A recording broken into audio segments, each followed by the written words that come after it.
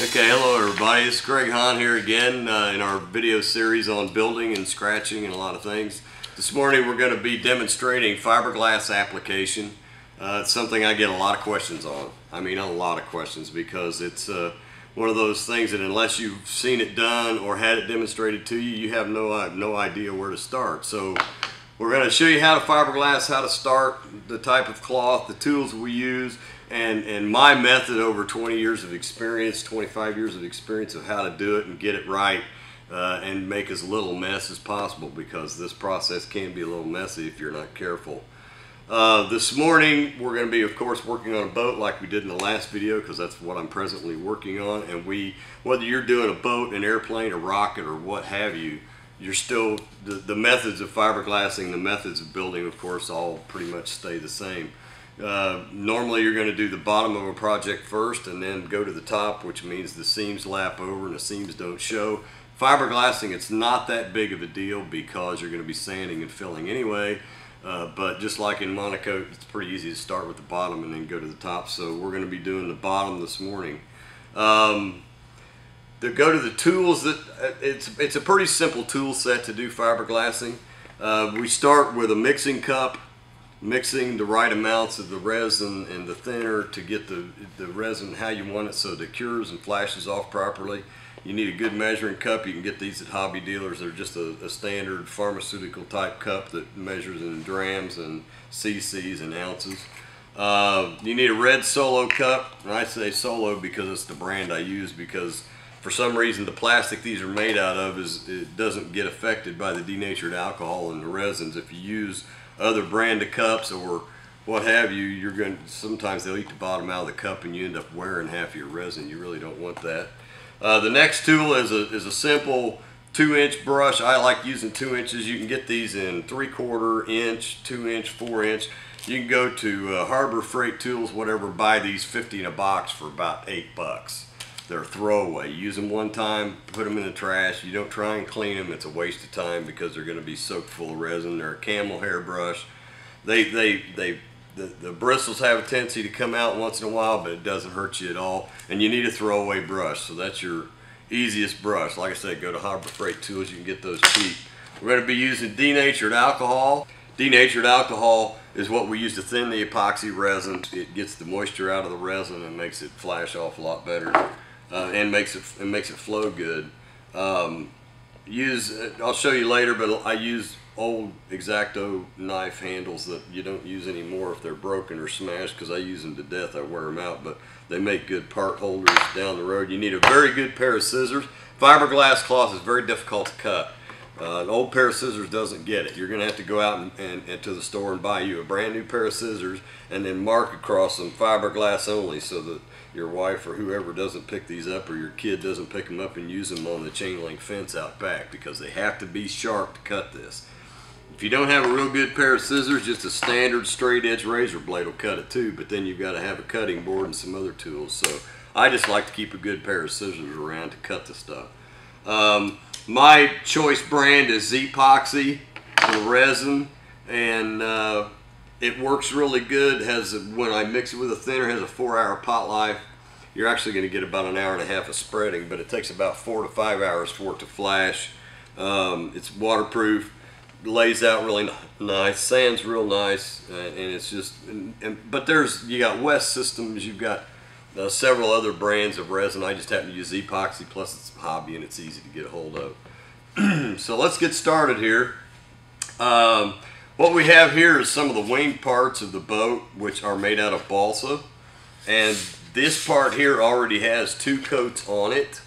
Um, so you can get an idea of what that looks like. That has the cloth and then a second coat of resin, which starts to fill the weave. Normally I use three coats and I mix it to where the the, the resin is, is the consistency of water so that it impregnates the wood. what you've got here is you've got a situation where epoxy resin is anaerobic, which means that it cures and flashes in a non-oxygen environment.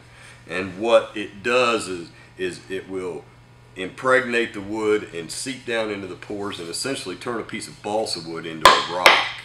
Okay, balsa wood's very vulnerable. It dents very easily, but once you impregnate it with the thin epoxy resin and it cures in those pores, it turns it into a piece of steel. You can't. It's very difficult to break this. So that's one of the reasons we use the fiberglassing method is because it adds great strength to, to the project that you're doing. And normally to just to show what what this looked like to begin with, you take a piece of cloth and you lay it over the part and then you essentially just glass each side of the part. You glass one side, let it cure, turn it over, put a piece of cloth on this side and glass it. You sand the edge before you put the next coat on, which finishes your edges around. And this is where this tool comes in handy because I take old X-Actos and I use them. I put the uh, the blade in and you have an automatic part holder so that in the second and third coats you can coat both sides at the same time lay it off the edge of the table with some weight and then it can sit there and cure. So these are handy little tools after a while. But these are the wing parts that are balsa that you can see how it works. Okay, next thing I'm going to talk about is the fabric, the fiberglass cloth.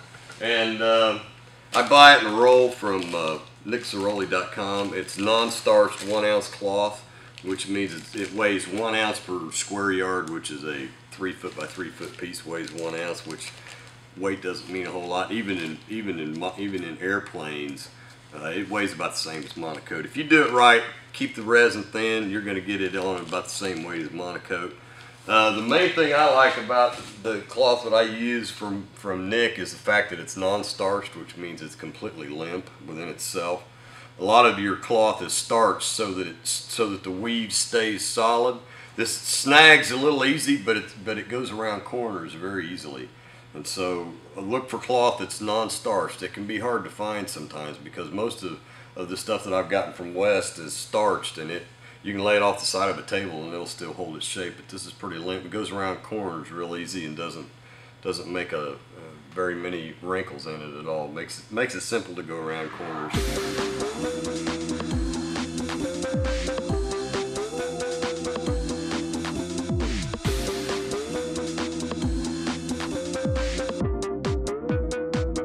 I've already got the pieces cut onto the onto the boat and ready to go there. You just literally take your scissors and cut your pieces and and try and do as many pieces as you can on the different surfaces, whether it's an airplane or a boat or whatever. You you can go around corners, but only to a certain extent with anything. So you've got to kind of choose your pieces. We started at the bottom, so I'm going to mix up some resin here, show you. Normally the uh, resin that I use is Z-Poxy. You can use West Systems. You can use uh, any of the finishing resins. Great Plains makes a finishing resin. They're all good. They're all waterproof.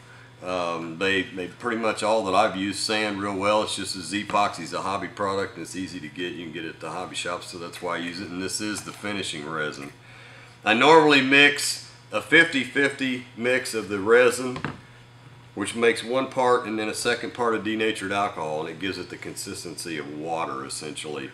So um, we'll start out, one thing to keep in mind, just a, just a tip or a pointer, is you've got resin and hardener and if you're going to have a, an out of, out of ratio mix, you want more resin and less hardener because if you go too much hardener, it slows down the cure time and sometimes it can make it so it won't cure at all. So you always, if you're, if you're going to be out of ratio, you want more resin than hardener. So normally I start with the resin and then I go a little weaker on the hardener on the mix. But you take out your little mixing cup and uh, you try and try and judge. It's, it can be difficult and you can always mix more because of the pot life. But normally I'll start out with a with a, a, a measurement where I'll put half the cup in resin and half in hardener and then mix it and put it in the uh, in the solo cup. So let me get this mixed up here real quick. Works pretty nice if you can see. I just pull the resin out and it's pretty, it works pretty nicely. Take it up. Okay, we're at about 15 cc's there. And we'll throw the hardener in, bring it up to about 30 cc's. Makes it easy and then you just simply mix it up in your little cup. Give it a little pre-mix to get the two parts in. You know, be careful not to slop it around because uh, you can always use the denatured alcohol to clean it off your hands because epoxy resin always seems to be a little sticky and gooey. Just drop it in the solo cup. It's pretty simple. I know this is rudimentary, but you do some, get that stuff in there. Okay, and you take the same cup, so you're not wasting everything. These are one-time use. This is a throwaway deal. You put your uh, about 30 cc's of denatured, throw it in the cup, close it up so it doesn't smell the room. Okay, lay your cup down, give that a mix. The first thing you're going to see, it gets really cloudy and foggy.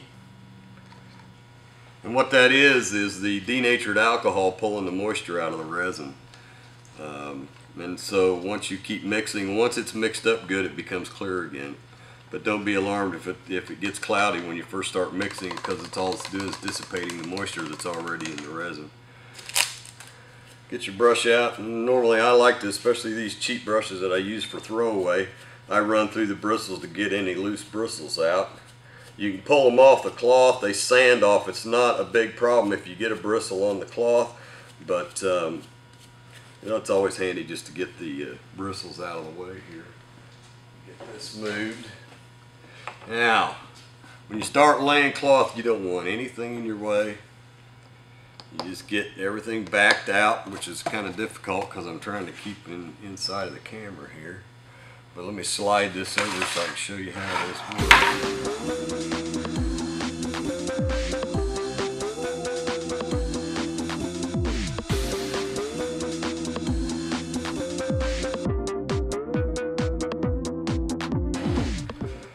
Most important thing about fiberglassing is to make sure your resin's thin so it's like water and I'll show you here in a second what I mean by it's like water. And since cloth is non-directional you always want to start in the center and move out. In other words I'm going to start the resin in the middle and then I'm going to make a swipe and a swipe and a swipe and a swipe and slowly go to the corners and just in a big pattern circle just keep slowly working out farther and farther. And what that does is make it completely wrinkle free and it just it, it actually takes the shape of what you're putting it on. I'm going to show you how I start this out. And you just dip it in and and the resin is like water if you can see it coming off the you can see it coming off. It literally is, is the consistency of water. You get some in the brush and you literally make a dot in the middle just like this.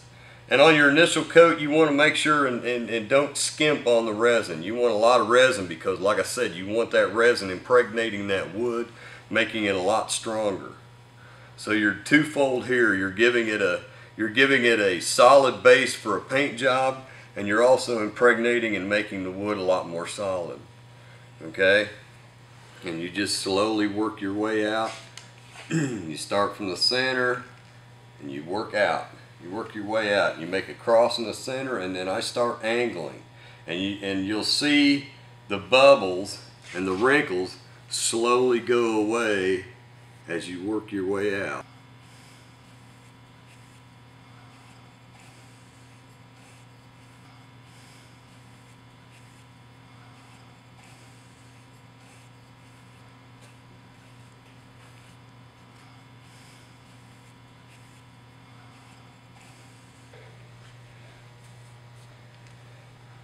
Once you get all the resin out and down and you're as far as you want to go, uh, you're going to have some hanging over the edges. You always want your pieces to be over.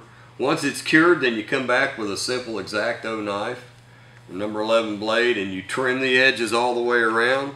Hit them with some 220 sandpaper to get the, the cloth back to the edge.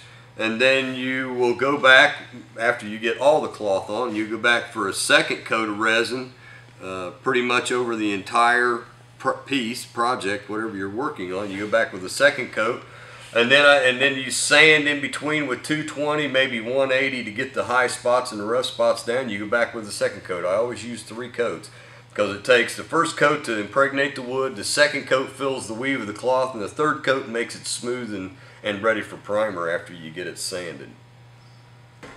We're going to, I'm going to put some glass around this front cone and to show you just how well this, this stuff can conform around the edges here. You notice this is a major compound curve coming around.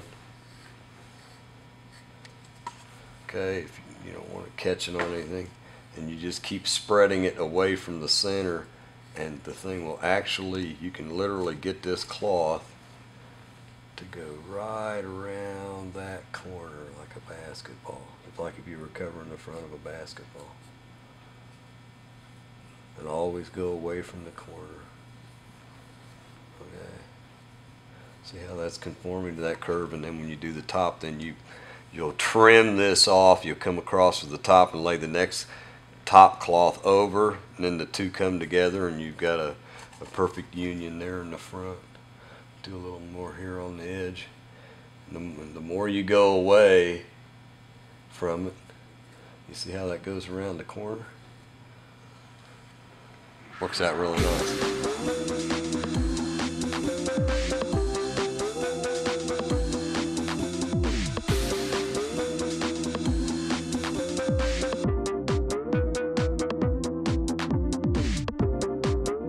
Application of the fiberglass done properly with thin coats and and and not adding a bunch of globs everywhere you can essentially do this as light as you can MonoKote and uh, so you're not adding a whole lot of weight. It's not difficult to do. Makes a nice surface for painting. And uh, so if you just take your time uh, do your resin properly and do everything thin you can uh, come out with a really nice project. So next time you build an airplane or build a boat or what have you and you want to do a paint job instead of uh, monocoating or, or one of the one of the other finishes that are a single application, give this a try. I'm sure you'll you, you'll learn in the process and you'll think, wow, this is this is actually going to work out good, and I can use whatever colors I want to paint at the end of the day. So uh, anyway, give it a try. I think you'll uh, you'll have success with it.